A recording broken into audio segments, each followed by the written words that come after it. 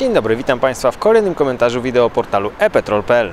E, Ostatnie dni to czas wyraźnych zmian spadkowych na polskich stacjach. Przed okresem e, wielkanocnych wyjazdów kierowcy dostali e, spory prezent, tankowanie benzyny w cenie 6,41, czyli o 10 groszy taniej niż tydzień temu i diesla w cenie 6,99, a więc o 30 groszy taniej niż w ubiegłym tygodniu. To jest z pewnością czas bardzo przyjemny, natomiast niestety jeśli chodzi o kolejne dni, już tak optymistycznie w przyszłość patrzeć nie możemy, ceny nie będą już tak gwałtownie spadać, a nawet mogą e, w najbliższym czasie rosnąć. Jeśli chodzi o rynek e, światowy, tutaj mamy do czynienia e, ze wzrostem cen ropy. W tej chwili uplasowała się ona w rejonie 110 e, dolarów za baryłkę. Przyczyną jest tutaj cały czas e, wizja zmniejszenia się podaży ze strony rosyjskiej, ograniczeń z jednej strony związanych z odchodzeniem od rosyjskiej ropy, z drugiej strony Międzynarodowa Agencja Energii prognozuje e, spadki e, poziomu produkcji w Rosji w kolejnych dwóch miesiącach, tak więc e, zmiany, zmiany cały czas będą zdecydowanie zwyżkowe. Jeśli chodzi o